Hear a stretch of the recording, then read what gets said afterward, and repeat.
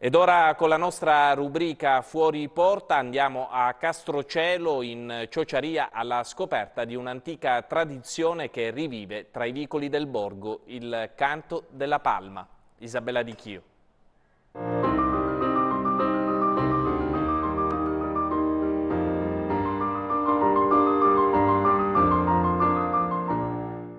Andiamo fuori porta, facciamo tappa a Castrocelo per conoscere la storia di Angelo. Insieme agli altri abitanti di questo comune della Ciociaria ancora porta avanti l'antica tradizione del canto della palma nel periodo pasquale. Andiamo!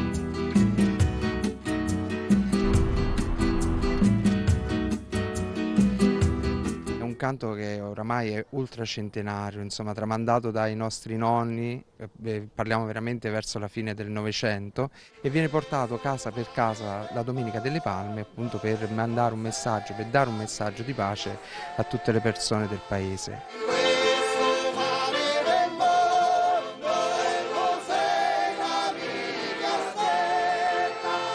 Un canto religioso itinerante che si snoda tra i vicoli di Castrocelo. Angelo, insegnante ciociaro, ci racconta così la tradizione del suo paese che accompagna il periodo pasquale nelle otto contrade di questo comune del Frusinate, l'antica Aquinum. Note che parlano direttamente al cuore e che portano indietro nel tempo. È un richiamo praticamente del territorio. No?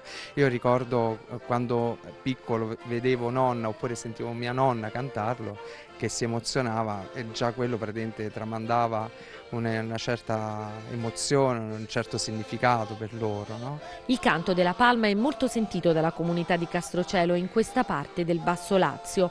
Molti gruppi che lo eseguono e che vedono insieme giovani e anziani. O Bella mia speranza e Andiamo cantando la palma sono i due testi con le tonalità dei canti popolari.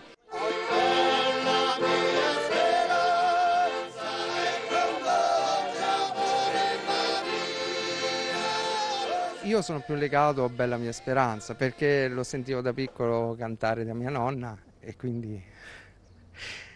I cantori vanno di casa in casa. Buongiorno alla Palma, si può? Cantate, cantate.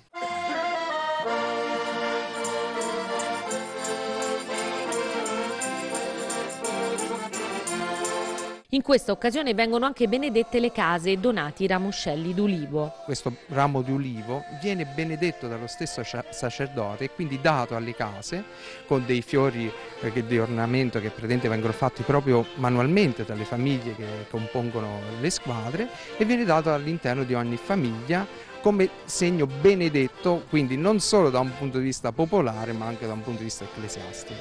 Al termine viene offerto il dolce tipico pasquale della ciociaria, la cosiddetta pigna, con gli aromi del passato. La palma è nel DNA di Castrocelo e di Angelo che ama il suo paese. Io personalmente eh, ho come luogo del cuore il monacato di Villa Ochelia che è incastonato praticamente sotto la montagna che praticamente è legato al Monte Cassino per esempio. Da Castrocelo lo sguardo si allarga al mondo. Un messaggio di pace che soprattutto noi sentiamo che arriva da lontano, ma que quello che le notizie che appunto ci arrivano dal mondo non può essere che forte più che mai in questo periodo.